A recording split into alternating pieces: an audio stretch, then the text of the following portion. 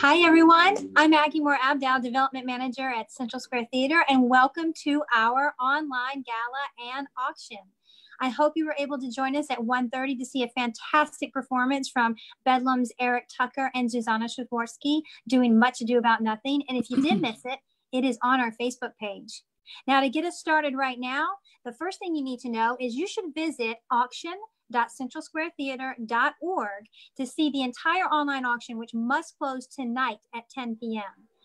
Right now, we're going to talk about a really exciting package the Science and Socializing the Marie Curie package featuring Lee Mikeska Gardner. In fact, we've got Lee right here. Lee, take the stage. Hey, everyone. It's good to see everyone. So the half-life of Marie Curie brings Marie to Hertha Ayrton in the summer of 1912 to recover from a heartbreak and a scandal. Hertha is one of our unrecognized women in science. She was born Phoebe Sarah Marks and changed her name to Hertha in adult. She was a suffragette, a mathematician, a physicist, an inventor with 26 patents to her name. This monologue from the play is the story of one of them. There was a technical problem in the world, and I fixed it, and you're welcome. You see, human beings are very clever, aren't we? And we invented electric lamps. And by 1890, there were such lamps on every street in London, in lighting theaters and warming dining rooms. And isn't that lovely? Except no, it was not lovely. It was loud. The damn things made this hissing, scratching, popping noise, and it was miserable. It was, well, it, it was this. It was tick,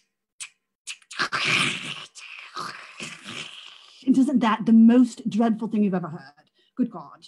I'd rather go back to candles and shouting, Where are you? after dinner. Except the choice can't be racket or darkness. So I ask myself, Why the hiss? Which was the right question to ask because there was an answer and I found it. The lamp is called an arc lamp because the electricity arced across a small divide in between two carbon rods. That would make that it, it makes the glow, the empty space between the rods, like like two fingertips nearly touching. Wasn't that a lovely metaphor for? I don't care.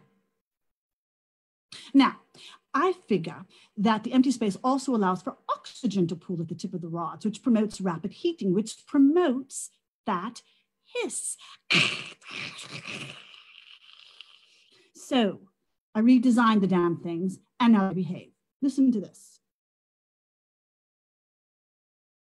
That is the sound of a good idea.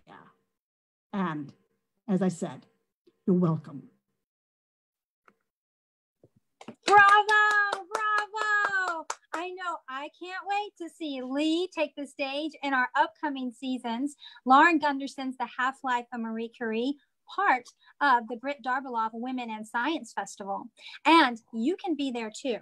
With this great package, it includes two tickets to the Half Life of Marie Curie, a private curated tour for you and your guest at the Harvard Collection of Scientific Instruments, and you're going to enjoy dinner at Central Square Theater, Central Square's Pagu with Lee Mikeska Gardner. Yum, yum, yum. Now, don't miss your chance to bid to win. This is a hot item, guys. So get in your bid by going to auctions.central.auction.centralsquaretheater.org. It's on our Facebook page. It's on our website. We must close tonight at 10 p.m auction.centralsquaretheater.org to bid to win and join us again at 3.30 where we will be joined for a special and our final live facebook performance with our own deborah wise. Thank you all